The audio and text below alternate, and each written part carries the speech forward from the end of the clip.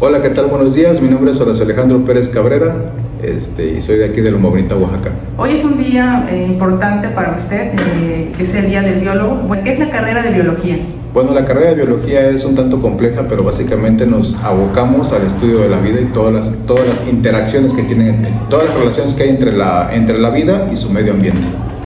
¿Dónde puede trabajar un egresado de la carrera de Biología? Dependiendo de la especialidad, hay gente que trabaja en, medicina, en biología molecular, parte de los temas de desarrollo de la vacuna de COVID fueron llevados a cabo por los biólogos, los médicos fueron los técnicos que aplicaron las, las recetas o las vacunas, este, hasta lo que pueden ser manifestaciones de impacto ambiental y ecosistemas. El estudio de los animales, inclusive hasta estudios de comportamiento o dinámicas de población.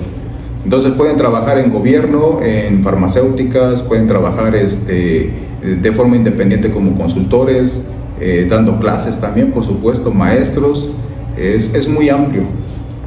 ¿Cuál es tu formación académica en biología? ¿Dónde te estudiaste?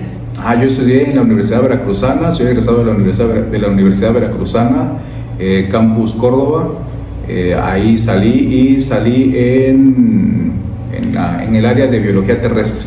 ¿Por qué decidiste estudiar biología? Eh, originalmente quería estudiar Derecho, pero, bueno, Derecho porque dicen que habló mucho, pero este, pero realmente me gusta mucho andar en campo, me gusta mucho trabajar en campo y siempre he tenido una, una, capacidad de asombro al ver las cosas que nos rodean, al observar lo que tenemos a nuestro alrededor y que a veces pasan desapercibidos para nosotros mismos, ¿no? Como individuos.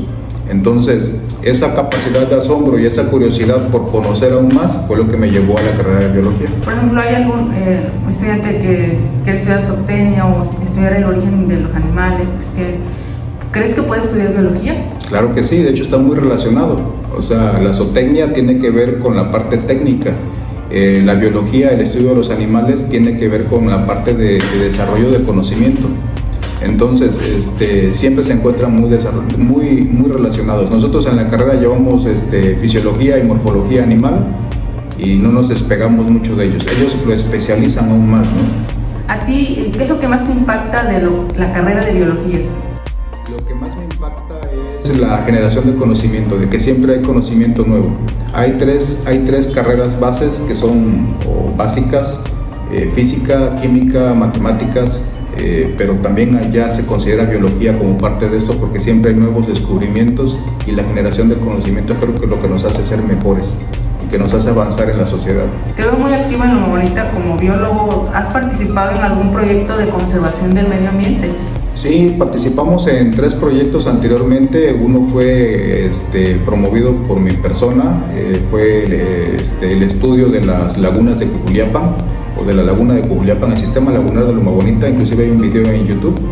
Este, el otro proyecto en el que estuvimos participando fue ahorita con el tema de las llantas, que tiene que ver con normatividad y políticas públicas, eh, la separación de basura, pero nos hace falta mucho, mucho trabajo en relación a normatividad y reglamento.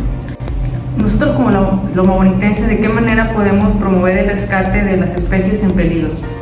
Bueno, lo principal que debemos de considerar es que Loma Bonita no tiene un, área reservada para, para, conservación. No nos hemos dado a, a esa tarea.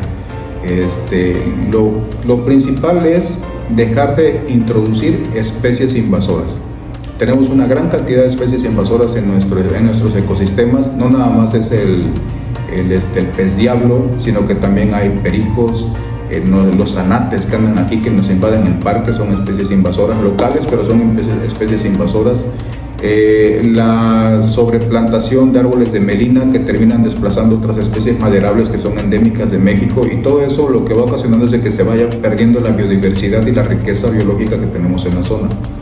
A mayor cantidad de, de, de especies introducidas, por ejemplo, hubo un tiempo que nos metieron el NIM, y todos querían sembrar nin, pero ninguno pensó en sembrar especies nativas mexicanas y el nin es de la India. Y si a eso le sumamos el mango, el limón, la naranja, eh, la pomela, la piña, eh, que, han terminado de desplazar a las especies nativas, han empobrecido nuestra biodiversidad.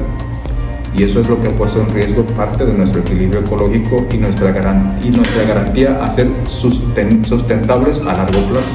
a veces nosotros como adultos, jóvenes, ya a veces ya no queremos contribuir al medio ambiente, pero usted, este, como biólogo, tres acciones que pueden hacer nuestros pequeños en casa para contribuir en, la, en el medio ambiente. Las más importantes son las tres R's. Este, reducir, reutilizar y reciclar.